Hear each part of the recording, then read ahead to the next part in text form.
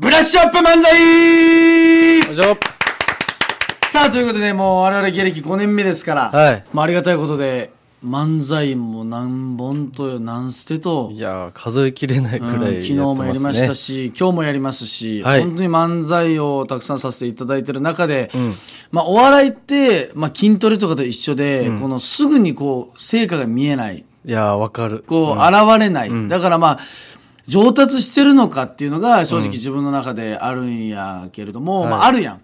いやありますね、まあみんなあるやん、これ特に漫才とかはそのまあいいのが一本出来上がっても、もうすぐもう賞味期限がそんなにないというか、っていうのもあるし、まあそういうまあ技術面でね、えーまあミスみたいな、まあその成長みたいなのが見えるのかどうか、うん。っていうところがお笑いの難しいところなんですけれども、はい。この間正義さんとかに聞いたら漫才上達してるねとか、のあマジ？ハンサムさんっていう作家さんに聞いたら漫才上手くなってるわ、みたいな、いう声もいただきましたけれども、我々では、その自覚はないというか。そうですね、はいしかも僕に関しては言われてないですかいや、らあなたと喋りたくないのよ、誰も。そんなことない喋りたくないのよ。だからあなたが上手くなってるってことなんかな？いやいや、コンビでインクルージョンの漫才が上手くなってるねっていうことで言っていただいたけれども、まあ、そのさっきも言ったけど自覚はないじゃない。っていうかいや分からないじゃない。どこでこう上手くなってる。まあ、お笑いってこういうもん、その筋トレもそうや。その腹筋100回したとて、すぐ明日には効力が出ないわけよ。まあ、みたいなことなんですけれども、で、えーいろいろ携帯のフォルダを探してたら、あの、高校の文化祭でやった漫才が出てきまして。うわ懐かしいなひどい これはね、正直成長してるぞ、俺ら。あそれ見て自信ついたうん、間違いなく。っていうのを、今ちょっと、皆さんに、んうん。あの、15分あった漫才を6分に編集して、あすげえ編集したなななんていう、その早送りとかじゃなくてカットして、まあこうんの動きの表現とかこう見えないじゃない。はいはい。だから動きのボケとかいう部分をカットして6分に縮小して、まあ皆さんにお届けする。そしてお届けした上で、合間合間で気になったところをちょっとこう、ブラッシュアップして、このラジオの終わりで、今我々の技術、5年目の技術で漫才として披露しようじゃないかと。はあなるほど。だから本当に、今だから分かる無駄な喋り、この喋りいらないとかがもう無限にあったのよ。うんだから本当に今15分漫才やってるけど、多分今の技術じゃ4分とかになるようなネタやった。あ収めれると、でもまあそこの無駄な話とかも当時さながらで実際に音源流しますので聞いていただければなと思います。これがもう高校3年生の時の文化祭で漫才やったのでもう6年。うわそんな経ったんやもう小学生と終わってます。終わってるな僕ね義務教育。義務教義務教育は中3まで義務教育やけど そう終わってるから小学生が。まあそれぐらい6年前の、ははい。いはい我々の漫才をちょ聞きながら、まあ、気になるところがあったら止めていただけたらなと思います、それでは聞いてください。我々インクルージョン6年前のネタでございます。いやありがたいですね。このお客さんいっぱい来ていただいてねい。や、本当にこれはありがたいですよ、マジで。本当に、本当に最初めての初めてのまあ、さっきやったけど、まあ、一応初めてじゃないですか。で、この記憶は絶対記憶に残りますよ。残りますね。残したくない。いいや、まあ。今一はもう。うまいっすよクラスメート盛山いやそんなんじゃなくていやねこうこうはいちょちょストップはいストップ何そんなんじゃなくて何この接続語そういう切り方がなんかさ、その、だらだらと喋ってるよな。いやわかるここを、今、坂下は、お客さんの印象に、初めての漫才はお客さんの記憶に残る、まあ残さないでほしいですけどっていうボケ。うん。で、えーもうね、20秒ぐらい喋ってるから。あそれはカットしてないそこの。してないしてない。わ20秒うわ。だらだらと喋ってる。そして米沢のヘラヘラそんなんじゃなくて、いらない、こんなの。あのボケが一番怒るツッコミ そんなんじゃなくてすかされるというねもうこれは漫才の形としては最終的に変えないでいくから、うんうんうんそんなんじゃ、今日、ボケはそのまんま使うとして、やっぱここはスッといこう。あわかりましたその記憶うん残らないでいいですけどとかもスッといこう。オッケースッといけるからね、ボケとしてオッケ。ーはい。いきます。はいコンビ名っていうのが決まってないですよねいや、そうなんです。実は僕、まだコンビ名が決まってないです。あのネタ作成にあの集中しすぎて、コンビ名が決まってないですよ。まだはい決まったのねえそうはい。はいストップはい、何ですか？ストップはい。俺滑舌よくしよう うんそもそもな。そもそもいや、それに関しては成長してないよ。やばいね。しかも、ちょっとやっぱこの時は早口うん。というか。まあ緊張してたからうんだねか。らこれペースはちょっとゆ今のっくり。ゆっくり。あのー後半畳みかけるっていう技術があるから、うん後半に畳みかこのペースはいいけれども、うん。前半はゆっくり。ゆっくり。まだ振りの段階ですから、うんうん。ゆっくりいけると。オッケーそこを意識して。はい、了解しました、もう一回聞きましょう。スタート。えそうはい。トラブル。ドラマいやまあ正直あのまああの客たちよりあの神戸の方が大事じゃないですか。だからちっちゃいからちょっと決めたいなと思って。というのもあの村木先生という方がここにおられるんですけど村木先生。吉川先生ね僕の顔見るたびにこうやってコンビ名はコンビ名はまだ出来上がってない。ずっと聞いてくれるんですよ。あ今村木先生がここにいられますけどしつこかったんですよ。うざい。実際に村木さんいらっしゃるそんな追ってそんな追って追っていいでで、まあ、結局コンビ名はきあの決めなかったんですね、僕は。いで、で、このままになって、だから、しびれ切らしてね、向こうからあの提案してきたんですよ、こんなコンビ名どう、はい。大丈夫です、ウェルフェア、キャーストップはい、ストップストップ。ここはいいのよね。いや、あのね、ここはいいここはいいのよ。あの、息もね、うん間も。この、まあ、説明すると、コンビ名は向こう村木先生という方から提案されました、ウェルフェアザード、そのウェルフェアっていう福祉という意味だから、うんそれを複数形でウェルフェアザード、却下というこの間は、一発目であったじゃない。うん。ここはいいのよ。そうね。で、うんこれネタ合わせの段階から実は合って合ってたから。たから。だからここはもう合わせて。そのまんまでそのままでうんはいいや、もう、やっぱね、坂下の滑舌が、ひどすぎるわな。かった。ここは頑張ってやるわ。はい。ひどすぎるな、でも。で、これこのままね。はい。この、却下をこのままいきます。はいいいですね。スタート。ウェルフェアってねこう福祉って日本語訳で福祉って意味なんですけどねそんな自分ら福祉っぽくないじゃないですか全然優しくない人間がウェルフェアでそんなん却下ですよどうしてで、あのそこだけはおかしい。いやお前、二人優しくないとか言ったけど、優しくないのはお前だけ。俺は優しいって。いや、絶対僕は絶対あのクラスのやつとか、俺は優しい。お前優しくない。俺は優しくない優しくない。だって、こいつの優しくないエピソード持ってますよ。ストップもう最悪な入りですね。俺優しくないエピソードを持ってますよって。そのハードル爆上がりの。ハードル上がってるな。そうだってこの間ね、とかいう入り方が今はできるじゃない。うん優しくないエピソードを持ってますよ。ひどいね。だからここはさらっと入りましょう、エピソードわかとったわかった。うんちなみにこのエピソードとか覚えてます？この後。あ、覚えてるあ。覚えてる。じゃあちょっと聞きましょう。スタート。渡り廊下あるじゃないですか。はいそういう体育館とかね。はい体育館とか。あ体とかあそこ二人で歩いてたんですよ。はいしたら前から女子生徒が来たんですよ。あ二人あ二人歩いて。ここにいるんじゃないですかこのねで、その女子生徒とこいつが肩バーってぶつかったんですよ。普通ならね、俺みたいな心の優しい人間は、ごめん、大丈夫。これが一発目。出ますよね普通はね、普通は。でもこいつ違うんですよ。こいつ。ノンフィクションいやフィクション中のフィクションそんなの言ってない違うそんなこと言ってない優しい違う優しくないじゃないちょっと待ってそんな俺の好感度下げようとしすぎそれもあれそれもあるけどじゃなくて。お前じゃあお前の好感度下げていいか？俺それ言い分なのなない？ついこの間遊び行ったやんかお前んちあ行きました行きましたねその時に夕方6時ぐらいまで遊べて。あその時には夕方6時になったらなんて言ったと思います帰る帰る門限いや門限。じゃない門限は外から出ていったやつが帰ってくれるやつが門限。いいボケですね。門限。門限。でも、確かに、ここが最初のボケっぽくない？確かに。なんかなんかこの、今までやっぱその透かしだったり、お客さんいじり、でもね、やっぱ高校生の時は僕の、僕らのことを知ってる人しかいないから、うんこの門限といういいボケは受けないのよね。そうね。だから、なんでだかなんやろ？ら多かったんか、透かし部分が、最初に。だから、ファーストボケ入れる、なんか、最初に。ボケっぽいとことを最初入れて、うん。透かしっぽいのを作り上げ、あ透かしっぽいのを踏んで、またボケっぽいとこに戻る。うん。だから、こう、門限も最初の、ファーストボケがあれば、この門限も多分受けると思う。生きると。はいはいはい。うん最初に入れよう、ファーストボケ。ファーストボケ入れる、はいはい。いいですね、うんそれでいきましょう、スタート。朝霞にねでやけ普通の友達なら、はいあの遠回しで、ね、例えば帰ってほしいなって態度取られるよりも、はいはいあの帰ってって正直に言った方がいいよ。いや、まあそれ帰る。言った方がいいまあそれもあれいやそれはありがたいですよ違う違う違う帰れ言い方も分かるじゃないですかごめん帰ってっていやそう言ってくれいや、そんな言い方ができない、お前は。なんだって俺ん家に入ってきた時、まずどうするか知ってますズボンを脱いで、家脱いで、裸やろ。あ、俺ん家のソファにいるんですよ。そんなやつにね、言えないっすよ。違う、帰れよ。違う違う違うそれはねもう俺もこっちも心開いてる証拠なんだよなんか上辺だけのね知らん友達についてねズボン関係だとその関係だとストップおい、俺も滑舌悪いな。悪すぎやって。地獄みたいな滑舌やん。いや、多分、滑舌悪いとかじゃない、早いんよね、多分、また。早すぎ。喋りが。ちょっと、なんかさ、は、もう、はあの、ヘラヘラしすぎやな。いや、そうね。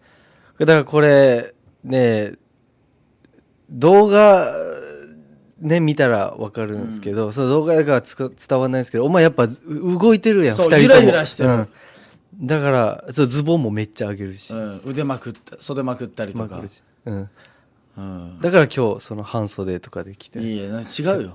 今日ね。夏やからよ。あさあ行きましょう続き行きましょう、スタート。俺らね二人で心開いとってそれができるじゃあ心開いとったらお前裸になると思うそうそう身も心も裸で俺のスタイル。じゃあやってみようやってみいじゃん変だろそういう女性のこといっぱいおるけどそんなんじゃい。いじゃあそんなそんな話は置いといてそんな話はいストップストップ。そんなそんなそんなそんな言い過ぎやの、また止めたぞ、流したぞ、お前。そんなそんな。出てこんやった、この時。いやもう覚えてるかこんなこの時の心境なんて覚えてるかお前。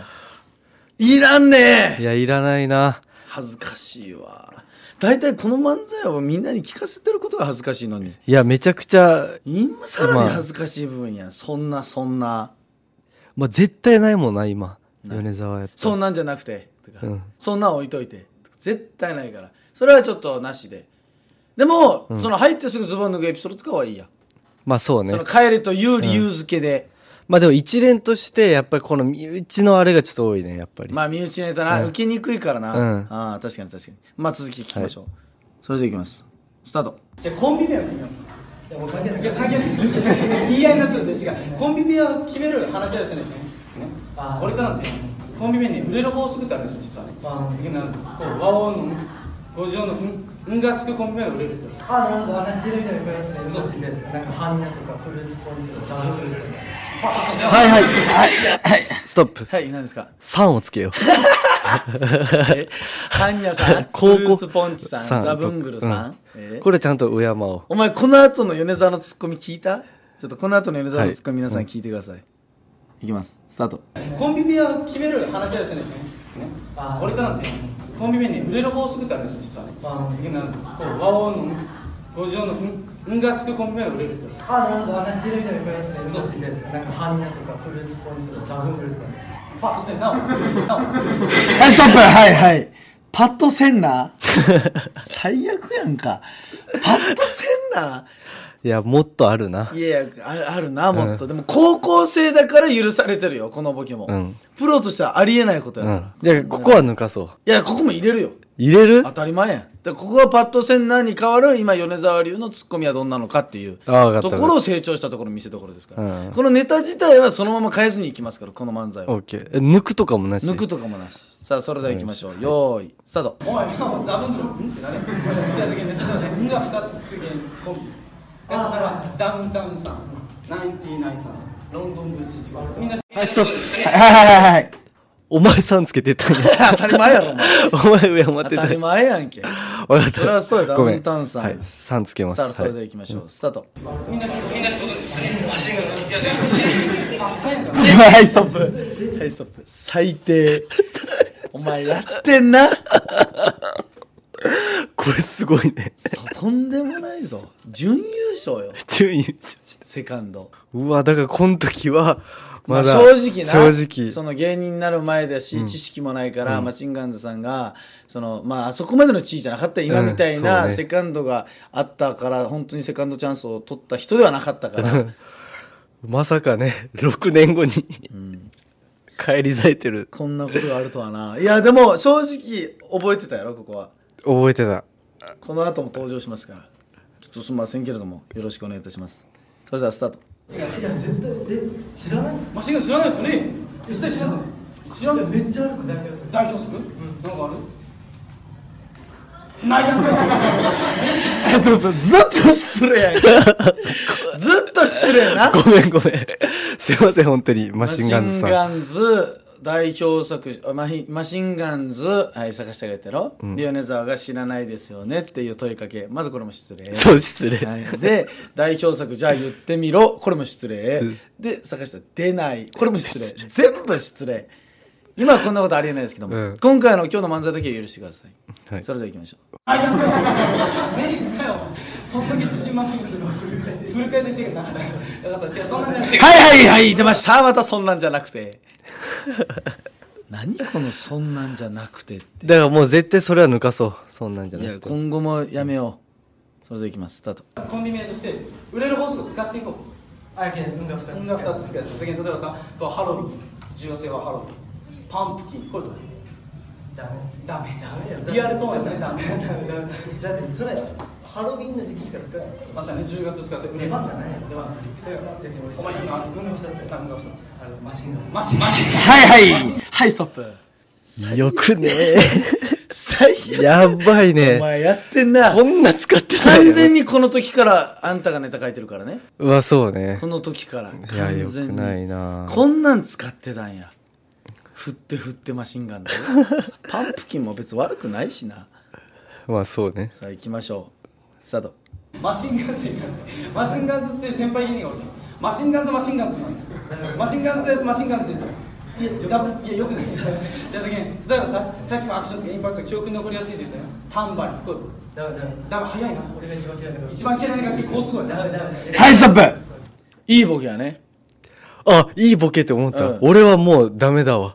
ええタンバリンは一番嫌いな楽器という自分の都合この米沢のツッコミは最悪やったよ、あ、それのせいでかな。うん、いやよくないこう。えータンバリンいい自分の一番嫌いな楽器いや好都合やね。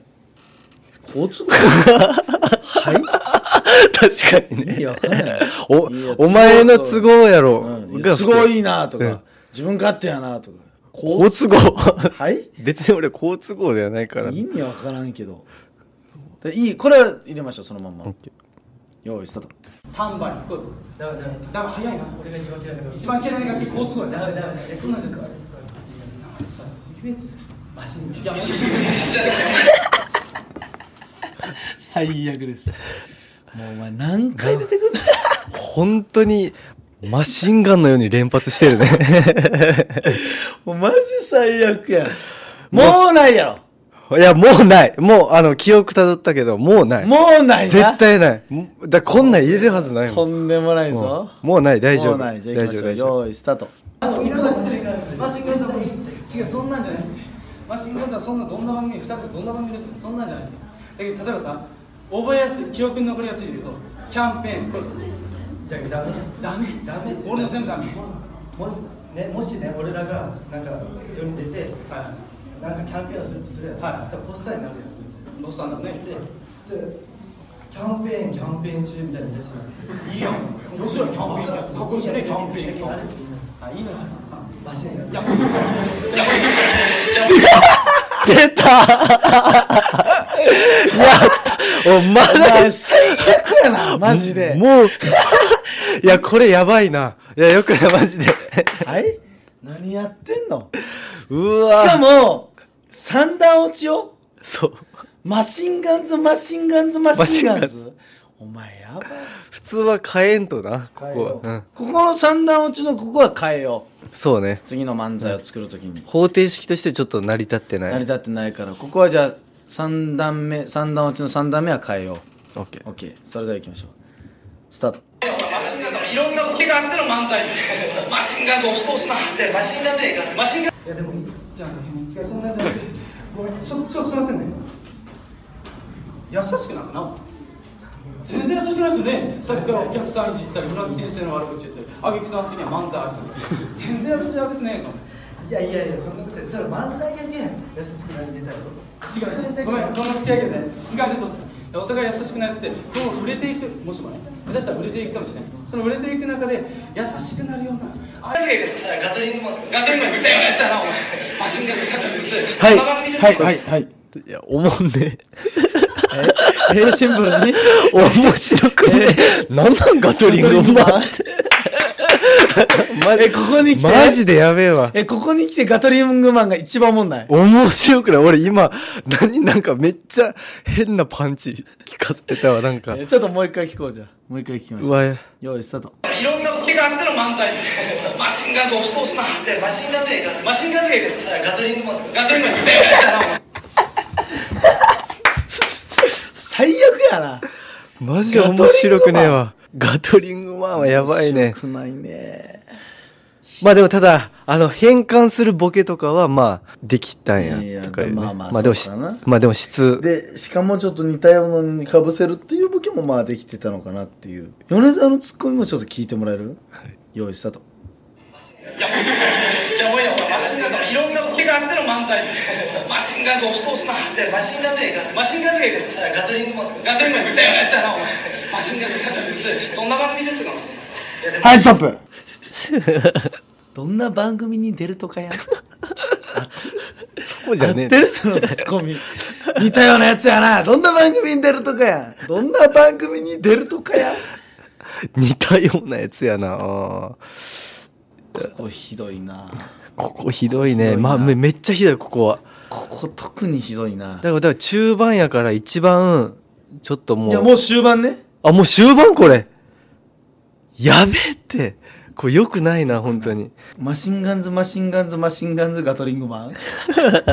なんおもんないね。面白くないわこれは。おもんないや。んじゃあまあ残り数分ですので最後まで聞きましょう、数分というか残り数秒なので最後まで聞きましょう。じゃあそんなやつじゃなくてごめんちょちょっとすいませんね。優しくなんかな。全然優しくないですよね。さっきからお客さんいじったり村木先生の悪口言ったり。あげくさん的には漫才ある全然優しくないですねいやいやいやそんなことそれ漫才やけん優しくないネタよ違うごめんこの付き合いけどね。すがるとるお互い優しくない。っつってこう売れていくもしもね。下手したら売れていくかもしれない。その売れていく中で優しくなるようなはいということでちょっと動画の都合上、うん。ここまでしか撮れてないんですけれどあなるほもど。もうオチやんこれは、うん。まあお互い、えー流れとしてはお互い優しくないお互い今後優しくなっていくようなコンビ名にしよう、うん。って言って坂下が「ああ一個いいのがあるよ」って言って何って聞いたらウェルフェアーウェルフェアーズズっていう最初のうんあったウ戻るェルフェアーズの伏線をうん。回収してウェルフェアーズいやもういいわで終わった。だって。いう漫才でございますけれども、まあ皆さんちょっと6年前の聞いていただきましてありがとうございました。ちょっと統括するとちょっとね、やっぱ成長はしとんな今の方が明らかに。成長してる。で、うん。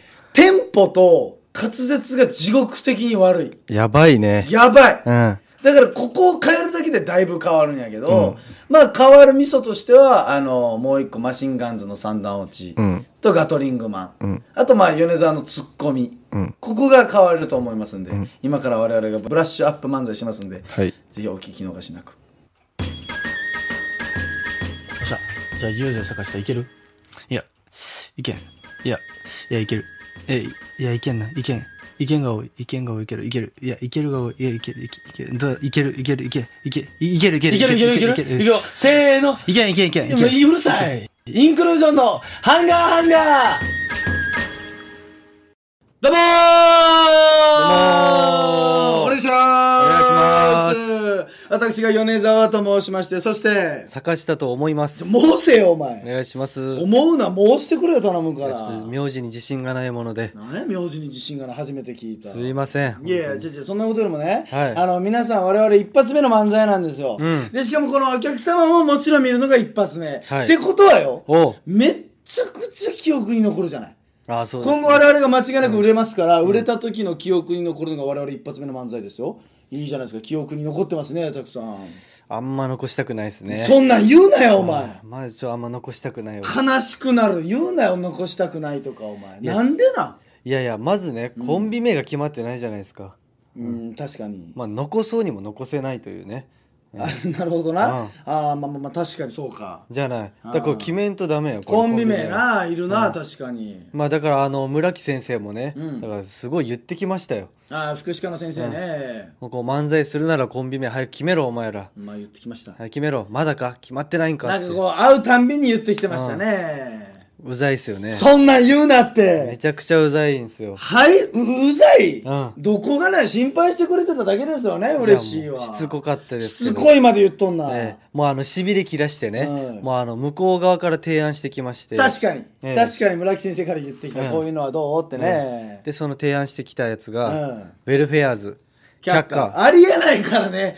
いいやや、ありえない、ありえない、ありえない。うん。だってその、ウェルフェアーズって日本語ですると福祉って意味ですから、うん。我々みたいな全く優しくない人間が福祉、これはないでしょ。だからもう早めに決めとけばよかったといや、思いましたね。本当にそう思うよね。こんなことなら、うん、優しくない人間がウェルフェアーズ、笑っちゃいますよね、これ。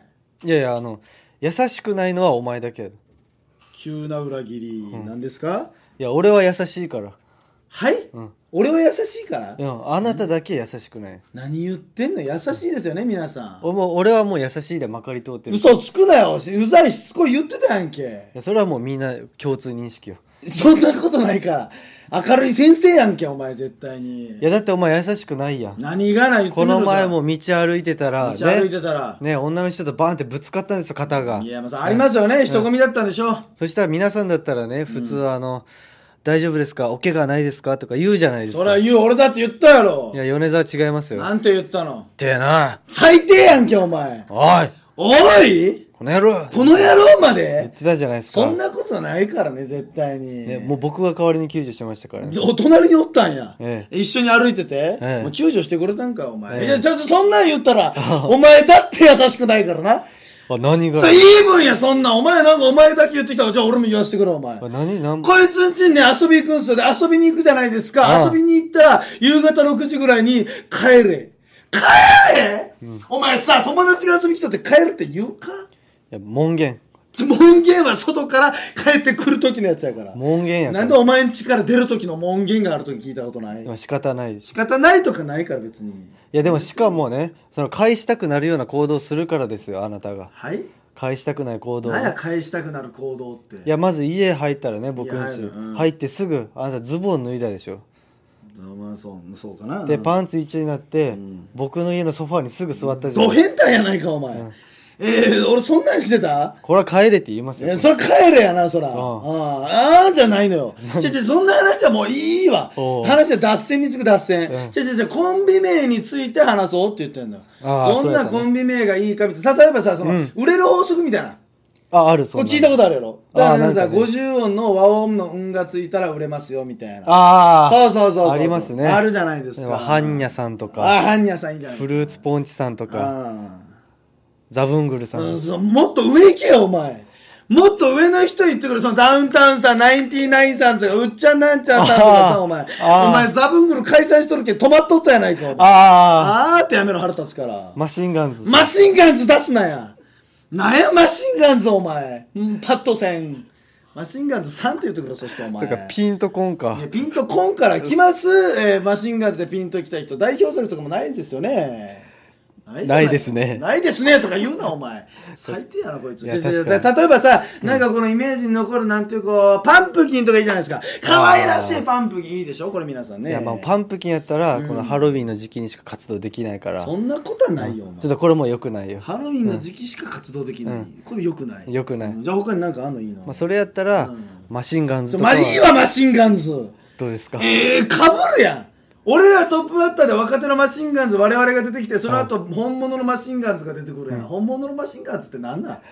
なんやこれお前。いいやんか連射の香盤表。なんや連射の香盤表って聞いたことのうまいこと言わんで。じゃじゃじゃマシンガンズがなしなのよ。ああ。だからたたなし例えばさあのーこうパンあのータンバリンとかいいじゃないタンバリン。そう音が鳴って盛り上がります。あー。盛り上がるグループです。タンバリンいいでしょこれ。あちょっと良くないですね。なんでよくないのお前。俺の一番嫌いな楽器なんで。じ自分の都合やなお前。やっぱよくない。お前勝手すぎるから明らかに。あ勝手すぎるいやなななんかいないないやそのお前の勝手すぎるコンビ名いやまあそれやったうらん。マシンガンズじゃのもういいってマシンガンズ払いたくなってきたなんか知らんけど。もういいからマシンガンズマシンガンズ言いやがって。じゃあ例えばキャンペーンとかどう？あキャンペーンね。耳なじみのある言葉でしょ。キャンペーンの2いやでもつキャンペーンいいじゃないおいや前キャンペーンやったらそのなんか僕ら広告とかになった時にキうん。ャンペーンキャンペーン中みたいになるからうん。それややこしくなるややこしくなるか、うん。まあそれやったらもっといいのあるから。もっといいの？じゃあ教えて。ガトリングマンとか一緒やないかお前なんやガトリングマンって聞いたことあります？皆さん。えーじゃあ例えばさ、お前それこそマシンガンさんと一緒の香盤表になりますよ。連番で俺が先にガトリングマン。その後にお前マシンガンさんが出てきた時に、お前お笑い見に来た香盤表に出てきた人は、あれ？ここは、あの、戦争ミュージアムですか？って。俺、え、トップバッター、うわ、前説手榴弾だ。バカお前。そうなったらどうすんの？お前困るから。なんや前説手榴弾って？お前聞いたことない。ピンを持った時には爆発されましょうか？って言って巻き添えになりますよって。君の足元には地雷がバーン。何言ってんの？お前何やってんのマジで。意味わからんからこんなのあったら。だからなんかさこう俺らみたいなこの優しくないやつらが優しくなるようなコンビ名っていうのがやっぱいいんじゃない？ああまあそれだ結局そういうところに盛り上がっていくんじゃないの？優しいね。優しいコンビ名。まあそれだったら一個ありますね。あ本当に？うん。大丈夫かお前？お前不安やけど一応言うてみよお前。ウェルフェアーズ。却下もういいです。どうもありがとうございました。キングオブレディオインクルージョンのハンガーハンガーささあいかがだったでしょういかやーもうなんか最後あ暴れてたなお前。いいですか？あんな。え何がですか？いやそういう進化の仕方するねそういう瞬間あの僕が5年間で得た成長はこれです。これ。はい、足元の地雷離れたらバーンバカ。芸人でバカとか言う。っていう。増田岡田岡田さん以そ外のんなんあったっけな、バカはい。まあまあままあなんかでもこのやっぱつなぎとかこのトークからトークの合間とかはちょっとスムーズにいったんじゃないですか？あまあそうね、ん。確かに。これ逆に20年後とかにもう一回するっていうのもね面白いかもしれないです、だって25 20年後445、うん。5歳でしょ？でこの音源を RKB の方が取っといてくれて我々がまあ結果はもちろん20年後には出てますから、うん。結果を出した後に帰ってきてとかなんかこの m 1取った後にね m 1とかね。チャンピオンになった時にもう一回このネタをそしたら多分またガラッと変わってるやん。確かみんなに勇気も与えれるしね。確かに。あ最初このレベルからでも。マシンガンズレベル3連発やったんやってこんなんでもいけるんや。いや本当に。いやだからマジ可能性が全然ありますから、ちょっと皆さんこの漫才をねまた覚えといてまた近い将来聞けたらなと思いますんでよろしくお願いいたします、マシンガンズさんすいませんそれではこのままエンディングに行きましょう。このポッドキャストでメッセージをお待ちしております。まあこれ聞いて何を送るかということで。まああのたくさん聞いてまあ確かにこれに関するねメールとかもぜひよろしくお願いいたします。メールアドレス kor.rkbr.jp 小文字で kor.rkbr.jp までお寄せください。そして、えー今回が10月13日ですね。10月29日に、あの、米沢回させてくださいっていう私が MC するライブがありますので、ぜひよろしくお願いいたします。明日 !10 月14日、福岡タワーにて、KOR ライブがありますので、ぜひ皆さん来てほしいカラフルです嬉しいですね。2回目2年目でございます。もう2年経つのかという、えあのー感無量のもう10月14日に、えー福岡タワーで13時からライブがあってで10月14日15日両日カラフルフェスで RKB の一大イベントがあってましてそこのね野外ステージとかまだ行けるみたいですので、ぜひそこもね時間スケジュールを見て確認して来ていただけたらなと思いますんでよろしくお願いいたします。それでは最後は坂下占いで締めたいと思います。もうこの喋りも成長したもんな。できなかったからね絶対に、まあそうね。成長してるわ。それではいきましょう。10月14日土曜日カラフルフェス当日、えー、蟹座の運勢は？ブブブ。おいいやうん。ゴール